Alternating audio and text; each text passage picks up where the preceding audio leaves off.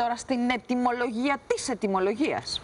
Ε, Γιατί ακούει ο άλλος ετυμολογία, αντιλαμβάνομαι ότι περισσότερες και περισσότεροι από εμάς ξέρουμε ότι πρέπει να γράφεται με ύψιλον και όχι βέβαια με ομικρογιώτα. Ετυμολογία, έτσι, Έτσι. έτοιμος, είναι ο έτοιμος λόγος. Ετυμολογία με ύψιλον, που είναι, Είναι- εξηγήστε μας, πόθεν η λέξη. Είναι από τη λέξη έτοιμον και έτοιμος με ύψιλον που σημαίνει αληθινός, βέβαιος. Αυτή είναι μια αρχαία λέξη, το έτοιμος. Μάλιστα υπάρχουν φράσεις που λέει έτοιμον ερώ ή ψεύδεστε.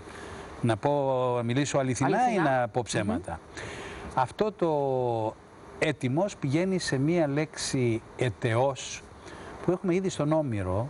Λέει εκεί εν μεναχεή, εν δε ετεόκριτες μεγαλύτερες.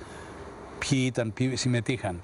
Οι Αχαιοί, οι ετεόκριτες. Ετεόκριτες σημαίνει οι γνήσιοι, οι αυθεντικοί κρίτες, οι γηγενείς. Μα, και ο Οι- Ετεοκλής οι- μπορεί να είναι από εκεί Και ο ίσως, ε; Ετεοκλής είναι από εκεί. Και ο Ετεοκλής είναι από εκεί. Είναι αυτός που έχει αυθεντικό κλέος, αυθεντική δόξα Ακριβώς. μάλλον. Ε; Πολύ ωραία παρατήρηση. Ε, ε, μου είναι ήρθε έτσι. Είναι έτσι. Και βέβαια έχουμε και το ετός και από το ετός έχουμε το ετάζω και αυτό που ξέρουν όλοι οι τηλεθεατές, το εξετάζω. Μάλιστα.